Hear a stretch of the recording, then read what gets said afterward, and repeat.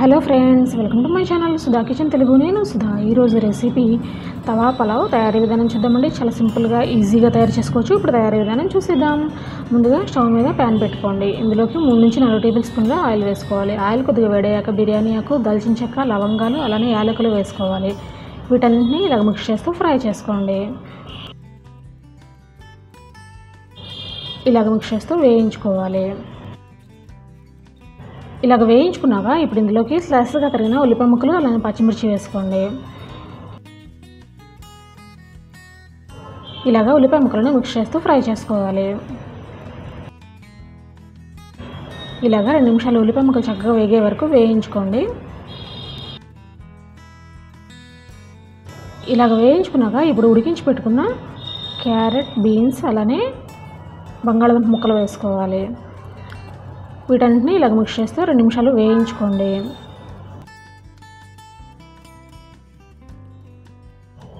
ఇలాగ చక్కగా మిక్స్ చేస్తూ ఫ్రై చేసుకోవాలి.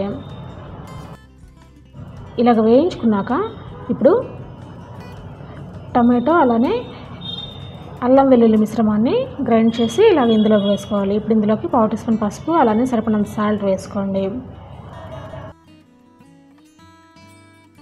ఇలాగ తగినంత సాల్ట్ వేసుకున్నాక ఈ మిశ్రమాన్ని అంతటిని ఇలాగ మిక్స్ చేస్తూ వేయించుకోవాలి. ఇలాగ ఈ మిశ్రమాన్ని అంతటిని ఇలాగ మిక్స్ చేస్తూ కుక్ చేసుకోవాలి. ఇలాగ రెండు నిమిషాలు వేయించుకున్నాక ఇప్పుడు ఇందులోకి ఒక టీ స్పూన్ కారం వేసుకోండి. అలానే half teaspoon garam masala వేసుకోవాలి. ఇలాగ చక్కగా మిక్స్ చేస్తూ ఫ్రై చేసుకోండి. ఇలాగ రెండు నిమిషాలు వేయించుకోవాలి. ఈ ముక్కలన్నింటినీ ఇలాగ మిక్స్ చేస్తూ కుక్ చేసుకోవాలి. ఇలాగ రెండు నిమిషాలు కుక్ చేసుకున్నాక ఇప్పుడు ఉడికించి పెట్టుకున్న రైస్ వేసుకోండి.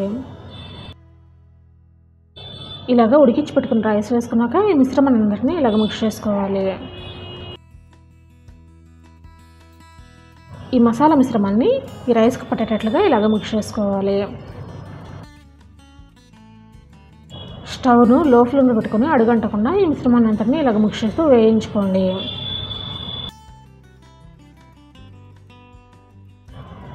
ఇలాగ రెండు నిమిషాలు మిక్స్ చేస్తూ కుక్ చేసుకోవాలి. ఇలాగ రైస్ అంతటిని ఇలాగ మిక్స్ చేస్తూ వేయించుకోండి.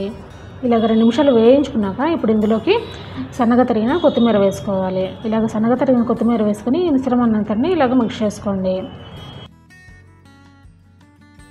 అంతేనండి ఎంతో సింపుల్గా తవా పులావ్ రెడీ చేసుకోవచ్చు. చాలా టేస్టీగా ఉంటుంది. తప్పకుండా ట్రై చేయండి. ఇలాగ రెండు నిమిషాలు ఈ మిశ్రమాన్ని అంతటిని ఇలాగ మిక్స్ చేస్తూ వేయించుకోవాలి. అంతేనండి సింపుల్గా తవా పులావ్ రెడీ. ఈ వీడియో కనుక మీకు నచ్చినట్లయితే లైక్ చేయండి. అలానే నా ఛానల్ను సబ్స్క్రైబ్ చేయండి.